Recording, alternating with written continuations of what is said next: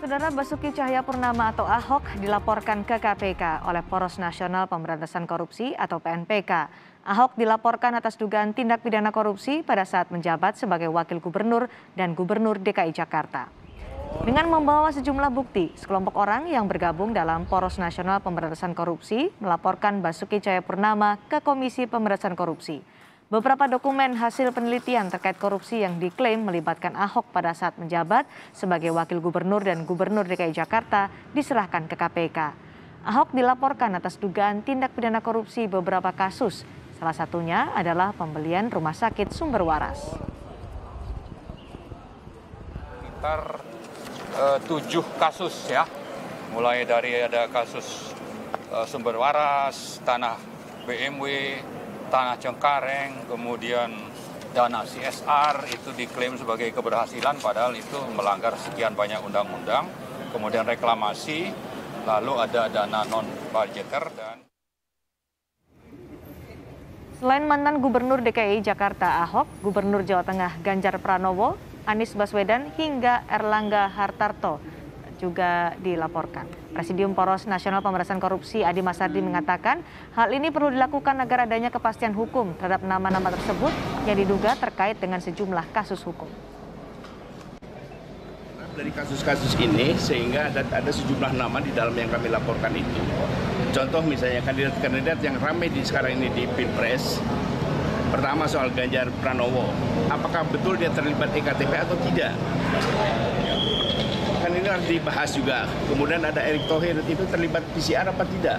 Ada Luhut uh, Panjaitan terlibat PCR apa tidak? Kemudian ada Erlangga Hartarto terlibat soal kartu prakerja apa tidak? Kemudian ada Anies Baswedan ada persoalan di uh, Formula E atau tidak?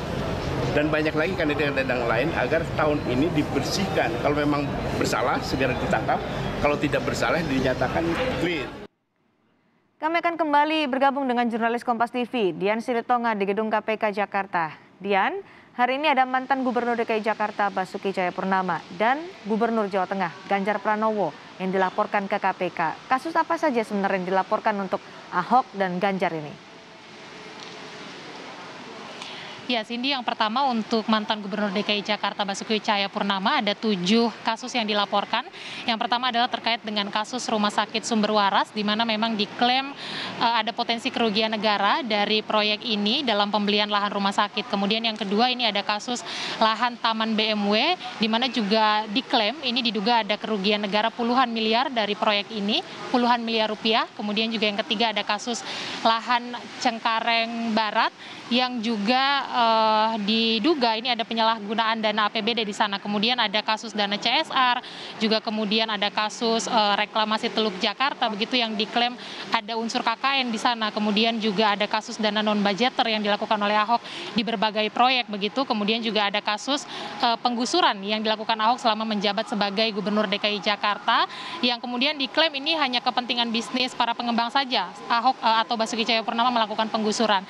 Itu untuk Basuki Cahayapurnama. Untuk Gubernur uh, Jawa Tengah Ganjar Pranowo ini juga dilaporkan dalam kasus uh, proyek IKTP begitu yang kita tahu pada 2017 yang lalu sebenarnya sudah diusut oleh KPK kemudian juga sudah masuk persidangan dan kalau kita ingat pada waktu itu memang Ganjar Pranowo menjabat sebagai Komisi 2 DPR yang juga terlibat dalam uh, pembuatan anggaran begitu. Nah, pelaporan yang dilakukan oleh Poros Nasional Pemberantasan Korupsi ini memang disampaikan untuk kepentingan pemilu 2024 Cindy. Maksudnya adalah uh, PN, PNPK ini berharap nantinya pemilu 2024 tokoh-tokoh yang nantinya akan maju ini uh, bersih dari tindak pidana korupsi begitu. Karena diklaim memang tokoh-tokoh yang dilaporkan ini berpotensi akan maju dalam pemilu 2024. Cindy. Uh, Dian lalu apa tanggapan KPK atas respon atau laporan ini? Ya, KPK memang sudah menerima laporan ini tepatnya diterima oleh bagian persuratan KPK. Kemudian Ketua KPK Firly Bahuri juga menyampaikan tentu KPK akan memverifikasi laporan ini akan menelah atau mempelajari apakah memang betul dalam laporan ini ada unsur-unsur tindak pidana korupsi yang menjadi wewenang KPK untuk nantinya bisa ditindaklanjuti. Tetapi sebelum dilakukan penindakan tentunya KPK harus uh, lebih dulu Cindy memperoleh dua uh, alat bukti yang cukup begitu untuk bisa melakukan penindakan sesuai dengan hukum yang berlaku. Jadi kita tunggu nanti bagaimana prosesnya, Cindy. Baik, terima kasih Dian Silitonga melaporkan langsung dari KPK.